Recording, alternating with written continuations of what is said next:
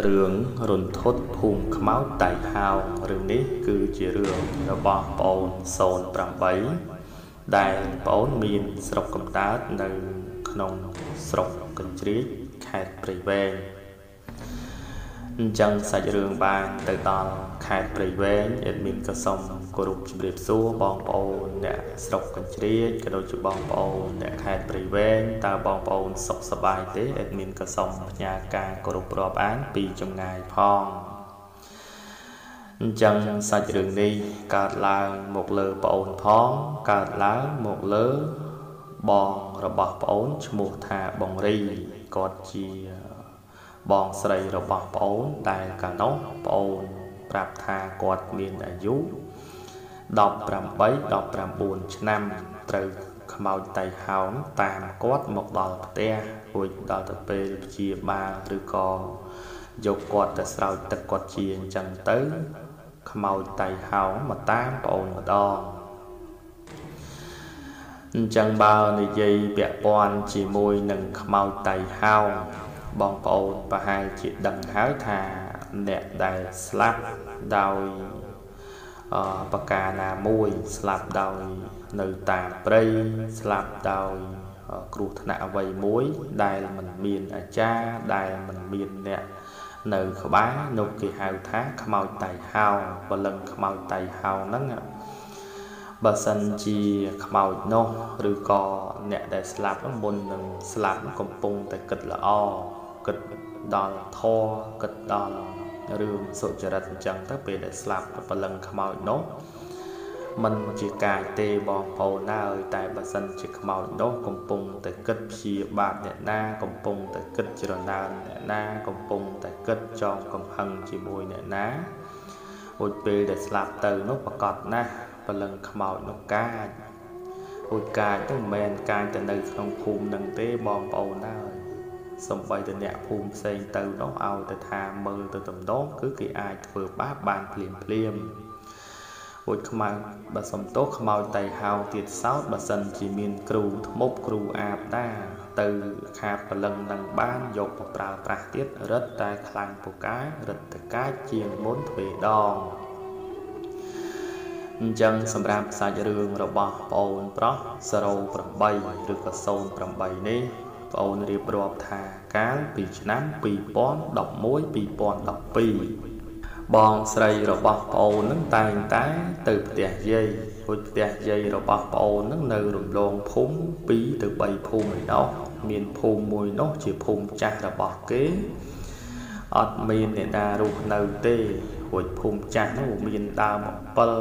មានដើមឈើផ្សេងផ្សេងក៏ប៉ុន្តែគ្រាន់តែថាដើមនោះវាធំធំ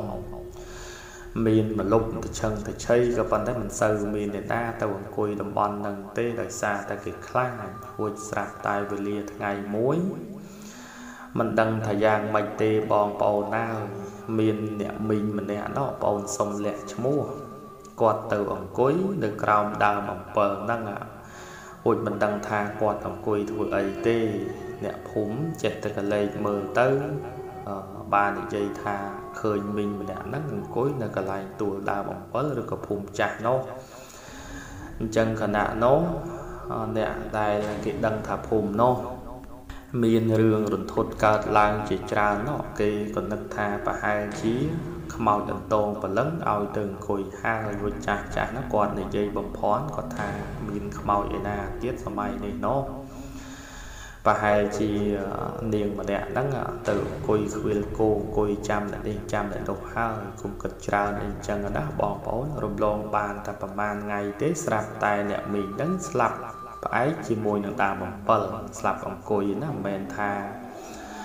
គាត់ចងក រួចមិនមែនមានអ្នកវាយអ្នកតបគាត់ទេអត់មានទេគាត់អង្គុយស្លាប់ផ្អែកដើមអំពើតែម្ដងអញ្ចឹងបានន័យថាខ្មោចរបស់គាត់ហ្នឹងតៃហោហើយបងប្អូនមិនដឹងថាគាត់គំនុំជាមួយអ្នកណាទេពេលដែលគាត់ស្លាប់ណោះព្រលឹងរបស់គាត់ហ្នឹងគឺកាចមែនតែនតាមអ្វីដែលបងអូនរៀបរាប់ណាថាកាលពីដំបូងបងស្រីរបស់បងអូនក៏មិនទាន់ជួប ប្អូន08ហ្នឹងក៏មិនទាន់ជួបក៏ប៉ុន្តែអ្នកភូមិនាំគ្នានិយាយមាត់មួយមាត់ពីរអញ្ចឹងទៅមកលឺដល់ម្ដាយរបស់ប្អូនម្ដាយរបស់ប្អូនហ្នឹងក៏និយាយប្រាប់ទៅឪពុកប្អូនថាខ្មោចមីងម្នាក់ហ្នឹងស្លាប់អង្គុយផ្អែកក្បែរដើមអំពិលឥឡូវនេះលងគេខ្លាំងណាស់អញ្ចឹងខណៈនោះឪពុករបស់ប្អូនក៏បាននិយាយថាខ្មោចតៃហោងឲ្យឯងយើរឿងអីដែលថាមិនលងខ្មោចតៃហោងបើកាលណាអឺ មានគ្រូអីដែរនៃគេទៅយកបលឹងបានរឹតតែបកែទៅទៀតនេះតាមឪពុករបស់ប្អូនបញ្ជាអញ្ចឹងគណៈនោះលងគេខ្លាំងពេកបងប្អូនណាក៏មានប្រសង់មួយអង្គណាប្អូនរៀបរាប់ថា បើនិយាយទៅថាលោកជាគ្រូសូត្រស្ដាប់នៅក្នុងវត្តមួយនៅក្នុងស្រុករបស់ប្អូនលោកក៏និមន្តបណ្ឌបាតតាមហ្នឹងរួចដល់ទៅពេលលោកនិមន្តបណ្ឌបាតតាមហ្នឹងមកមកដល់ទួលភូមិចាស់ហ្នឹងលោកក៏និមន្តឈប់នៅត្រង់មុខទួលហ្នឹងលោកឈប់ឬក៏លោកនិមន្តឈរមួយសន្ទុះអញ្ចឹងទៅក៏លោកនិមន្តបន្តទៀតទៅ ចាប់តាំងពីពេលហ្នឹងទៅទួលហ្នឹងក៏ ស្ងាត់ខ្មោចលងបងអូនរៀបរាប់ថា អ្នកភូមិបាននិយាយតតគ្នាថាលោកបងដែលជាគ្រូសោតនោះលោកនិមន្តបណ្ឌបាតឈប់កន្លែងហ្នឹងមួយសន្ទុះចាប់តាំងពីពេលហ្នឹងទៅខ្មោចហ្នឹងក៏ស្ងាត់អញ្ចឹងអ្នកភូមិគិតថាប្រហែលជាលោករងាប់រួចហើយក៏មិនដឹងបានជាខ្មោចហ្នឹងស្ងាត់អញ្ចឹងណា អញ្ចឹងដំណើរសាច់រឿងបន្តបងអូនរៀបរាប់ថាតាមពិតទៅមិនស្ងាត់ទេ ស្ងាត់តែមួយរយៈក្រោយមកទៀតបងស្រីរបស់បងអូនឈ្មោះរីណាគាត់បានទៅផ្ទះយាយវេលានោះឯងគាត់មានមហូបចំណីយកទៅជូនយាយប្រហែលជាម៉ោង5ជាង76ចឹងគាត់ប្រញាប់ត្រឡប់មកវិញណាបងប្អូនខណៈពេលដែលជូន មហូបចំណីយាយរួចហើយគាត់ក៏ត្រឡប់មកវិញរួចទៅតែម្នាក់ឯងនេះបងអូនមិនបានទៅជាមួយស្រាប់តែវេលានោះបងស្រីរបស់ប្អូននឹងវិលត្រឡប់មកវិញមកដល់ផ្ទះហ្នឹងម្ដាយរបស់ប្អូនសួរថាយាយគាត់បានហូបអត់យាយគាត់ អឺនិយាយថាម៉េចដែរស្រាប់តែបងស្រីរបស់ប្អូនហ្នឹងមិនមាត់មិនកទេចានស្រាក់នៅនឹងដៃហ្នឹងបោះទៅលើក្រែអញ្ចឹងទៅរួចហើយឡើងសងំទៅនៅលើផ្ទះអញ្ចឹងខណៈពេលដែលឡើងសងំនៅលើផ្ទះនោះបងប្អូនណាឪពុករបស់ប្អូនហ្នឹងក៏សួរថាកូនឯងយ៉ាងម៉េចបានជាសួរមិនមាត់មិនកក៏វត្តកវែងចានស្រាក់ខណៈនោះឯងនៅតែមិនមាត់មិនកតជាមួយនឹងឪពុកប្អូន ឪពុកប្អូនហ្នឹងក៏អូនដៃចេញមកខាងក្រៅផ្ទះសួរនាំអញ្ចឹងទៅគាត់បំរុងនឹងវាយណាបងប្អូនប្អូនរៀបរាប់ថាឪពុកប្អូននឹងកាយណានិយាយទៅមិនស្រួលត្រូវវាយគឺវាយភ្លាមមិនដឹងថាកូនតូចឬកូនធំទេអញ្ចឹងខណៈនោះបំរុងនឹងវាយហើយស្រាប់តែកូនបើសុំទោសបងស្រីរបស់ប្អូនគាត់ស្រែកយំណាស្រែកយំមួយទំភឹងអញ្ចឹងទៅវេលានោះឯងបងប្អូនដើរ សួរយ៉ាងណាក៏មិនឆ្លើយសួរយ៉ាងណាក៏មិនតបដឹងត្រឹមតែថាស្រែកយំផ្អើលអស់ផ្ទះអ្នកស្រុកពី3ផ្ទះជាប់របស់ប្អូនអញ្ចឹងខណៈពេលដែលផ្អើលគេផ្អើលឯងអញ្ចឹងណអឪពុករបស់ប្អូនហ្នឹងសួរនាំមិនឆ្លើយបំរុងនឹងវាយកូនឬក៏បងស្រីស្រែកយំយាយរបស់ប្អូននោះ ក៏ប៉ុន្តែយាយហ្នឹងយាយខាងម្ដាយប្អូនទេគាត់នៅផ្ទះក្បែរហ្នឹងគាត់ក៏ដើរមកមើលដើរមកមើលអញ្ចឹងទៅគាត់ឃើញអាការៈមិនស្រួលគាត់ក៏ប្រាប់ទៅឪពុករបស់ប្អូនថាកូនឯងហ្នឹងមិនស្រួលទេយកធូប3សរសៃមកខណៈនោះឯងបងប្អូនណាហើយអុជធូប3សរសៃនិយាយនិយមទៅបងស្រីរបស់ប្អូនហ្នឹងក៏ដឹងខ្លួនវិញលែងយំចឹងណាម្ដាយឪពុកសួរទៅក៏ឆ្លើយថាខ្ញុំអត់ដឹងទេ ខ្ញុំត្រឡប់មកវិញហ្នឹងគ្រាន់តែឃើញមុខពុកម៉ែហ្នឹងដូចជាខ្ញុំខឹងអ្នកទាំងពីរអញ្ចឹងណាបងប្អូនគណៈនោះលោកយាយរបស់ប្អូននោះក៏និយាយថាប្រហែលជា មានខ្មោចព្រាយអីចូលហើយអញ្ចឹងគណៈនោះមានតាម្នាក់នៅក្នុងភូមិរបស់ប្អូនហ្នឹងគាត់ចេះមើលតែតែ គាត់មិនមែនថាល្បីល្បាញអីទេបងប្អូនណាគ្រាន់តែត្រឹមថាមើលអ្នកស្រុកអ្នកភូមិចឹងទៅអ្នកណាព្រាយសន្ធិដ្ឋអ្នកណាបាត់គោបាត់របស់តែងតែហៅគាត់ឬក៏ទៅមើលដល់ផ្ទះរបស់គាត់អញ្ចឹងវេលានោះបងប្អូននេះគ្រាន់តែទៅដល់គ្រូគ្រូប្រាប់ថាអីទេគេគេខឹងព្រាយនេះគេខឹងអញ្ចឹងណាឬក៏ខ្មោចតៃហោងគេខឹងថាយកនំចំណីទៅ សំដៅទៅយាយចឹងហួសកន្លែងគេអញ្ចឹងណាគាត់ចង់ឲ្យអឺម្ដាយឪពុករបស់ប្អូនហ្នឹងចែករំលែកឲ្យគេផងគេនៅកន្លែងហ្នឹងអត់មានអីហូបទេអញ្ចឹងគណៈនោះបងប្អូនណាហើយម្ដាយឪពុករបស់ប្អូនហ្នឹងក៏ចែករំលែកក្រោយពេលដែលដឹងអញ្ចឹងណាចែករំលែកយកនំចំណីយកទៅដាក់ត្រង់គោល7នោះហៅនាងហ្នឹង ឲ្យមកហូបមកស៊ីអញ្ចឹងទៅមួយបងស្រីរបស់ប្អូនហ្នឹងក៏ជាស្រឡះសះស្បើយក៏ប៉ុន្តែលែងហ៊ានទៅតាមផ្លូវហ្នឹងអញ្ចឹងដំណើរសាច់រឿងបន្តរំលងបាន4 5ខែប្អូននេះនេះក៏ដូចថាទៅម្ដងអញ្ចឹងណាតែប្អូនទៅដើរលេងផ្ទះយាយទេមិនមែនទៅយកនំចំណីឲ្យយាយទេអញ្ចឹងខណៈនោះប្អូនរៀបរាប់ថាពេលដែលប្អូនត្រឡប់មកវិញ ប្អូនឃើញអ្នកមីងហ្នឹងកាលតែគាត់នៅរស់គាត់អង្គុយផ្អែកដើមអំពិលរួចពេលគាត់ស្លាប់ហ្នឹងគាត់ឈរ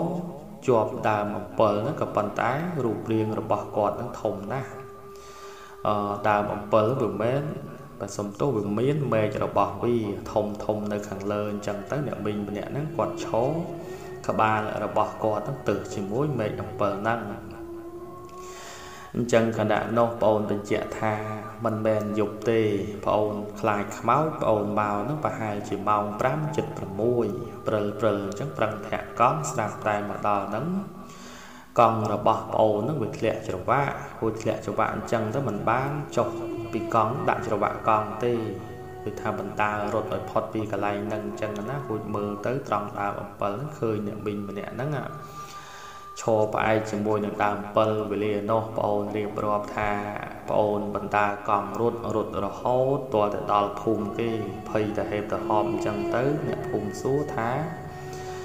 មានរឿងអីអាក្មួយអើយបានជាបណ្ដាកង់រត់ទៅហេបទៅហប់អញ្ចឹងបងអូនក៏ប្រាប់ថាខ្មោចលងរួចអ្នកភូមិប្រាប់ថាទេខ្មោចកន្លែងហ្នឹងលោករងាប់ប៉ុណ្ណឹងហើយនៅមិនទៅឯណាទៀតនៅតែ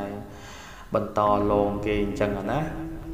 រួចខណៈនោះឯងបងអូនដាក់ច្រវាក់កង់ហើយបងអូនក៏បន្តដំណើរទៅដល់ផ្ទះរៀបរាប់សាច់រឿងហ្នឹងប្រាប់ទៅឪពុកម្ដាយបងអូនឪពុកម្ដាយបងអូនហ្នឹងក៏ស្ដីបន្ទោសឲ្យថាឯងទៅឯណាមកឯណាមិនក៏មិនប្រាប់គាត់ផងរួចដឹងហើយឮហើយថាបងស្រីរបស់ឯងនោះ bị ស្លាប់ពីរស់ដោយសារតែខ្មោចតៃហោនៅលើទួលហ្នឹងហេតុអីបានជាឯងហ្នឹង នៅតែហ៊ានជិះកង់តាមនឹងទៀតអញ្ចឹងគណៈនោះបងអូនក៏មិនបានតបតជាមួយនឹងឪពុកម្ដាយរបស់បងអូនតែដឹងត្រឹមតែថាចាប់ពីយប់តែប្អូនឃើញខ្មោចហ្នឹងរហូតដល់ព្រឹកប្អូនអត់បានដេកទេព្រឹកឡើងក៏ក្តៅខ្លួនឈឺក្បាលហាក់បីដូចជាគ្មានកម្លាំងកំហែងនៅក្នុងខ្លួនម្ដាយរបស់ប្អូនហ្នឹងក៏យកប្អូនហ្នឹងទៅផ្សំថ្នាំលេបក៏ប៉ុន្តែផ្សំថ្នាំទៅដូចជាមិនបាន ខណៈពេលដែលមិនបានអញ្ចឹងទៅយាយរបស់ប្អូននោះដឹងថាមិនស្រួលទៀតហើយគាត់ក៏អុជធូបនិយាយនិយមអញ្ចឹងទៅប្អូននោះក៏បានធូបរួចគាត់ផ្ដាំកូនចៅរបស់គាត់ទាំងអស់គ្នាគាត់ប្រាប់ថាបើគ្មានកិច្ចការងារអីសំខាន់ទេកុំធ្វើដំណើរតាមនឹងរួចបើសិនជា ធ្វើដំណើរតាមនឹងសូមឲ្យមានគ្នាច្រើនចាប់ពី3នាក់ឡើងទៅរួចដើរនឹងកុំភ័យកុំស្លន់កុំស្លោទោះបីជាឃើញក្តីមិនឃើញក្តីដើរធម្មតាទៅបើកាលណារត់ប្រកាសណាស់ខ្មោចតៃហោងគេកាន់តែធ្វើបាបទៀតអញ្ចឹងណាបងប្អូនរួចលោកយាយរបស់ប្អូនក៏បញ្ជាក់ទៀតដែរថា ខ្មោចតៃហោងនេះកាចបើសិនជាមានគ្រូធ្មប់ណា យកទៅប្រើនោះមិនដឹងថាពូកាយយ៉ាងណាទេមិនដឹងថាខ្លាំងយ៉ាងណាទេ តែសំដាងណាភូមិស្រុករបស់យើងនេះវាអត់មានគ្រូធ្មប់បើសិនជាមាននោះមិនដឹងយ៉ាងណាយ៉ាងណីទេពួកយើងទាំងអស់គ្នាអញ្ចឹងវេលានោះ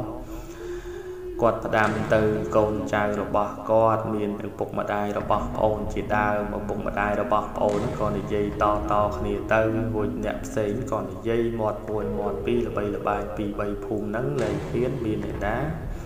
ធ្វើដំណើរតាមផ្លូវហ្នឹងពេលយប់ប្អូនរៀបរាប់ថាទាល់តែប្រហែលឆ្នាំក្រោយទេទើបទួលហ្នឹងសាបរលាបរួចសាបរលាបហ្នឹងលែងមានខ្មោចលងក៏ពិតមែនតែ